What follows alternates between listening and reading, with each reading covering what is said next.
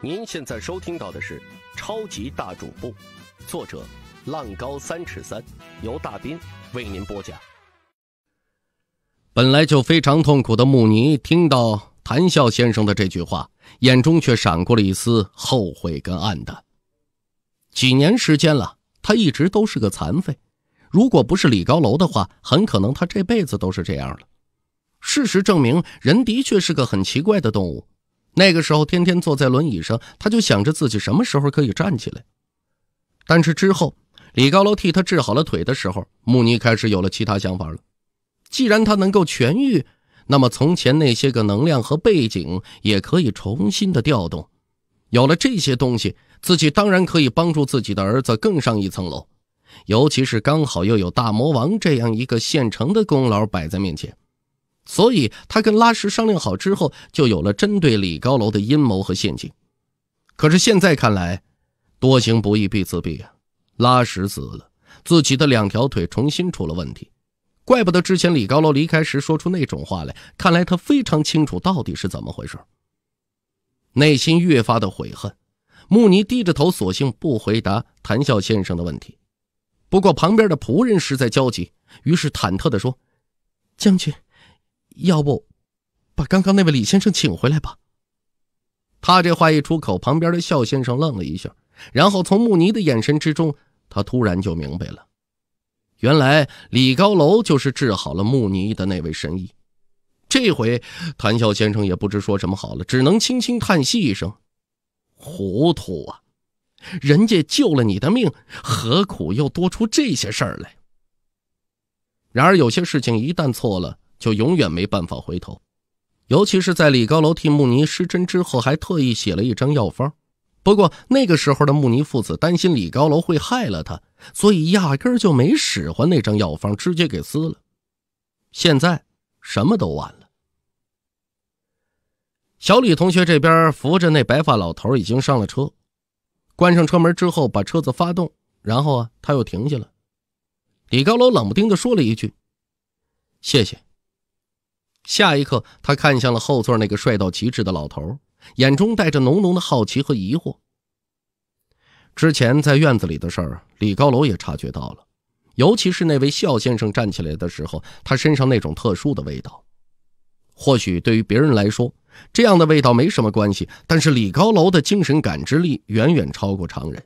正是如此，所以他在那个时候意识到，应该是毒。虽然说曾经吞下过一枚青色的龙符和朱哈，一般的毒对自己来说根本没什么作用，但是那位肖先生绝对不是普通人，他的毒也自然不会那么简单。如果这些猜测成立的话，那么自己还活着，这就是一件很值得去思考的事情。所以目前唯一能解释的就是身边这位老人，否则的话怎么样也没办法说得通。还是那样一张脸，还是那样。就默默的盯着李高楼，老人说话了：“你该去报道了。我的事务所里不按时报道的员工都是没有工资的。”低沉的声音从老头口中响起，那张平静的脸再加上平静的语气，让李高楼猛地愣了一下。李高楼又不是个傻子，他立马想到了一件很重要的事情：事务所。恶魔事务所，瞬间，关于那天晚上有些离奇的事情，他全部想了起来。之前，恶魔事务所给自己的考核任务就是找到杀害威登的凶手。不过，李高楼找到之后，却又发生了一系列的事情，导致他完全把事务所的事情忘得一干二净。尤其他还去了趟咖啡谷，如今才回来，他当真的一点都不记得了。但是现在，这老头如此说话，那他应该就是。恶魔事务所的老板了。你是施先生？瞪大眼睛，李高楼当然还记得这个名字。那老头摇了摇头。记得今天晚上报道，真是令人头疼的员工啊。好似没什么兴趣多说了。这位施先生拉开车门，跟着就要离开。眼看着他要走，李高楼赶紧问：“您先别走啊，我带你去医院。你受伤了。”之前的车祸让这位施先生撞破了好几个地方，那带他上医院赶紧包扎一下。这也应该李高楼做的呀。然而施先生却没停下来的意思。不用了，可是我还有事想问清楚呢。张了张嘴，李高楼接着说：“实际上，这才是他真正的目的。在知道了这个人应该是那位恶魔事务所的老大之后，他当然不会觉得这么一点伤会对他造成多大麻烦。什么事儿啊？”果然，那老头停下了。呃，王爷，王爷，他现在在哪儿？你们是什么关系？这个问题啊，从那天晚上接到王爷的电话，李高楼就一直想问清楚。他已经跟王爷失去联系有一段时间了，尤其之前王爷离开的时候啊，是为了了解恶人岛的事儿。关于恶人岛，李高楼还是有些渊源。不说李清更，就是他自己本身也是恶人岛的执法者呀。可是现在呢，一切消息一无所知，说不定这位神秘的施先生应该知道些什么。不过，这位施先生却摇了摇头。我们之间没什么关系，你问的事情我也不知道。如果你想要知道的话，按时报道。说完，这老头就走了。说出来的答案呢，就跟没说一样，什么用处都没有。不过李高楼也没办法埋怨什么。之前在木泥院子里发生的事情来看，这位施先生可不是他现在能对付的，也不是他现在能招惹的。因此，还是老老实实晚上报道去吧，说不定会从那些人的口中。得知一些特殊的线索呢。